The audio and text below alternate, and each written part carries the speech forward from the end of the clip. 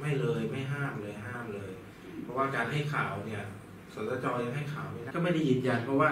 กว่ากว่าเชื้อมันจะโตเนี่ยมันก็มีเวลาก็อินคูเบชันพีที่โรงพยาบาลใกล้บ้าน ถ้าอยู่ทำหันคาก็ไปที่โรงพยาบาลหันคาเชยนาทก็อยู่ที่โรงพยาบาลเชยนาทก็ยังก็อยู่ที่ว่าร่างกายเราแข็งแรงมากน้อยแค่ไหนคือสรุปว่าณวันนี้ชัยนาทไม่เรามีไม่มีไม่มีไม่มีแน่นอนต้องเรียนนี้นะครับ ณปัจจุบันเนี่ยข้อเท็จจริงก็คือว่า ทั้งจังหวัดชัยนาทเราเนี่ยเรายังไม่มีผู้ที่เข้าข่ายสงสัยเลยนะครับ ต้องบอกอย่างนี้ เพราะงั้นเนี่ยข่าวที่ออกมาเนี่ยผมผมผมกลับเรียนเลยว่าเป็นข่าวที่ไม่มีความเป็นจริงนะครับ คือในตัวของจังหวัดชัยนาทเองเนี่ยของเราเนี่ยนะครับ ตอนนี้ท่านผู้ว่าได้เน้นย้ำมาตรการในการเฝ้าระวัง เพราะฉะนั้นเนี่ยเราเราเฝ้าระวังทุกคนที่ที่กลับมาจากต่างประเทศ แล้วอยู่ในจังหวัดชัยนาทเนี่ยเราได้ส่งเจ้าหน้าที่ไปเพื่อแนะนำเขาให้เขามาตรวจ ให้เขามาตรวจกับโรงพยาบาล โดยเฉพาะในเขตเมืองเนี่ยก็จะมาตรวจกับโรงพยาบาลชัยนาทเพราะฉะนั้นคนที่มาเนี่ยไม่ใช่คนป่วย เป็นคนที่มีประวัติไปต่างประเทศมาในช่วงนี้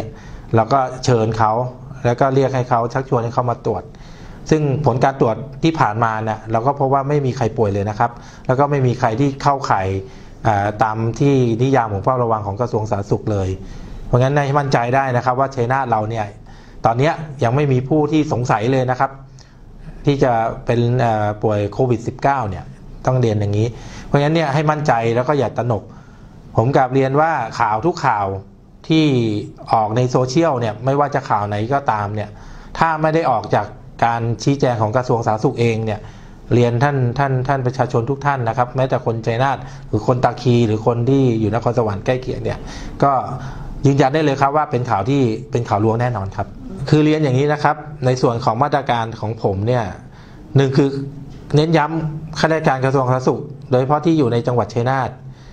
ถ้าใครไปปล่อยข่าวลือเนี่ยถือว่ามีความผิดทางวินัย อันนี้จะต้องสอบสวนทางวินัยทุกรายนะครับ แล้วก็ประเด็นท่านจะเป็นคนนอก เรียนให้ทราบนะครับ อาจจะต้องเช็คดีๆ เพราะข่าวที่มาจากโซเชียลทุกข่าว หรือข่าวที่มาจากตัวพยาบาลทุกคน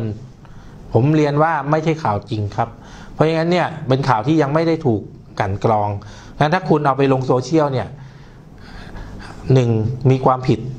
นะครับ มีความผิดตามพรบ